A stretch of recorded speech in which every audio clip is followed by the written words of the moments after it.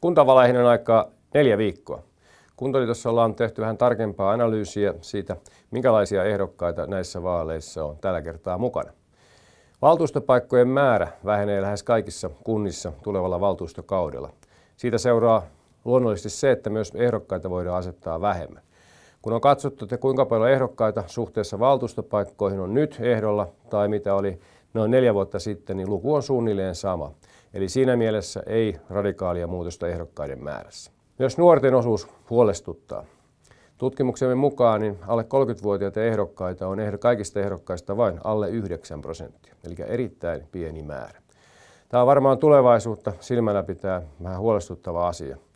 Jos nuoret eivät ole kiinnostuneita ehdokkuudesta, voi olla, että myöskään kaikki nuoret eivät ole sitten kiinnostuneita äänestämään, koska ei ehkä välttämättä löydy sitä oman ikäluokan edustajaa. Tämä onkin melkoinen haaste sitten kaikille ehdokkaille iästä riippumatta. Millä tavalla tavoittaa nuoret näissä kuntavaaleissa?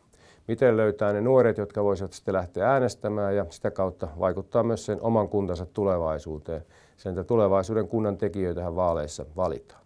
Niin haaste kaikille ehdokkaille. Menkää sinne, missä nuoret liikkuvat, käykää tapaamassa nuoria, keskustelkaa asioista. Kyllä nuoret ovat kiinnostuneita oman kotikuntansa asioista. Nyt pitäisi vaan saada kiinnostus myös siihen pisteeseen, että mennään äänestämään ja sitten ehkä tulevaisuudessa myös ehdokkaaksi.